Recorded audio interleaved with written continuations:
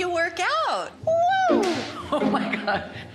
This is a lot. You should not be doing this pregnant. You might hurt yourself. Kris Jenner is the workout partner from hell for pregnant Khloe Kardashian. I absolutely love my mom, but she's a psychopath. What are you Here. doing? I'm just up oh here with you. Okay, well, it's room for one. Okay. Okay. Ooh, slow it down a little bit. This is very fast. Hi.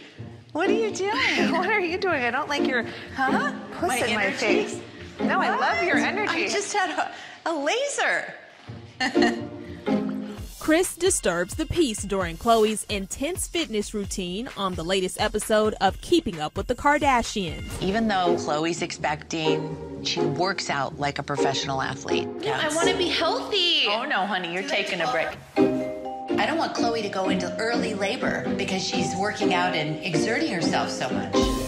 While the momager has good intentions, Koko gets irritated when she can't get in a good sweat. Just because I have a baby doesn't mean I have to stop doing the things that I love, and I love working out. And it looks like Khloe's time in the gym while pregnant paid off. Fast forward to four months after she gave birth to daughter True, and the Revenge Body host is showing off her impressive post baby body in Mexico while celebrating her belated birthday and becoming a first time mom. And I'm like, girl, you're living your life.